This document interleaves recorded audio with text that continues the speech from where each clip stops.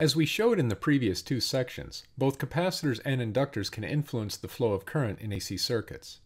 Now we want to combine them, along with a resistor, in a simple AC circuit known as an RCL circuit. There are many ways to connect resistors, capacitors, and inductors in the same circuit. Let's spend the majority of our effort analyzing the series RCL circuit, in which case the resistor, capacitor, and inductor are all connected in series, as the figure shows. Each element of the circuit, the resistor, capacitor, and inductor, contribute to the effective overall resistance. The resistor offers its normal resistance, and the capacitor and inductor contribute with the capacitive reactance and inductive reactance respectively. This effective resistance is known as the impedance of the circuit. Because the three elements are connected in series, it is tempting to think that the impedance would just be equal to the sum of R, XC, and XL. However, this is not correct because of the current and voltage phase relationships we studied earlier. To correctly analyze the impedance, we have to use the phasor models. The lengths of the voltage phasors in the drawing represent the maximum voltages, VR, VC, and VL across the resistor, the capacitor, and the inductor respectively. The current is the same for each device since the circuit is wired in series. The length of the current phasor represents the maximum current I0. Notice that the drawing shows the current phasor is in phase with the voltage phasor for the resistor, the current is leading the voltage phasor for the capacitor by 90 degrees, and the current is lagging behind the voltage phasor for the inductor by 90 degrees. This is consistent with our mnemonic Eli the Iceman. To analyze the phasors in the figure, we're going to apply Kirchhoff's loop rule, where in an AC circuit, this rule applies to the instantaneous voltages across each circuit component and the generator. The loop rule tells us the sum of the voltage drops across the resistor, capacitor, and the inductor must sum up to the generator voltage. However, we have to take into account the phase of the voltages, since the voltage phasors point in different directions. We add these voltages in the same way that we add vectors.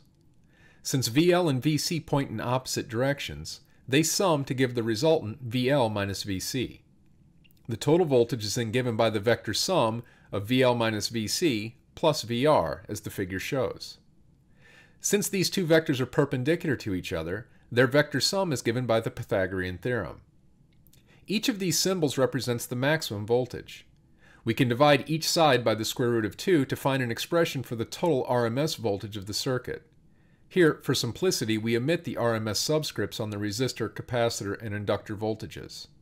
Finally, we can write each of the RMS voltages using Ohm's law, remembering that VR is equal to IRMS times R, VC is equal to IRMS times XC, and VL is equal to IRMS times XL.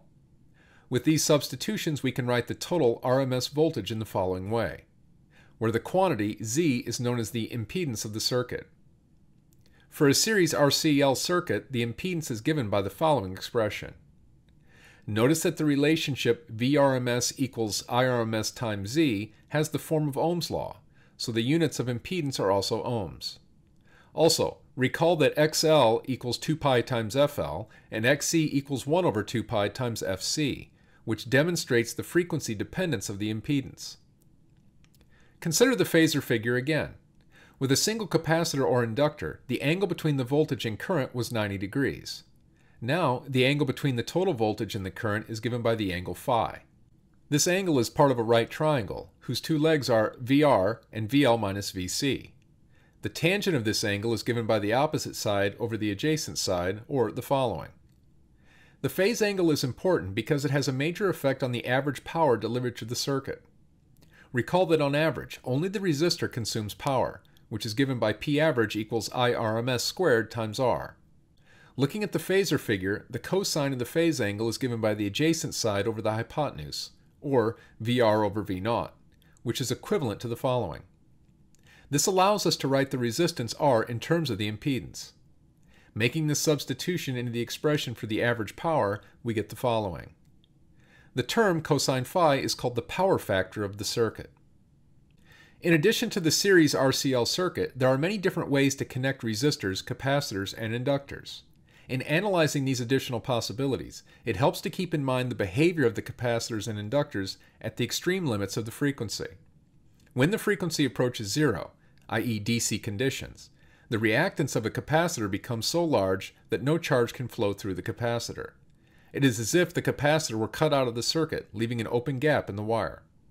In the limit of zero frequency, the reactance of an inductor is vanishingly small. The inductor offers no opposition to a DC current and behaves as if it were replaced with a wire of zero resistance. In the limit of a very large frequency, the behaviors of a capacitor and inductor are reversed.